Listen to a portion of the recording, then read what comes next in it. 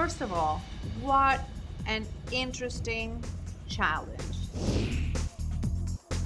I was very disturbed to see some of them look really obvious, like the Western saloon costume, or I mean, there were some that were very disappointing.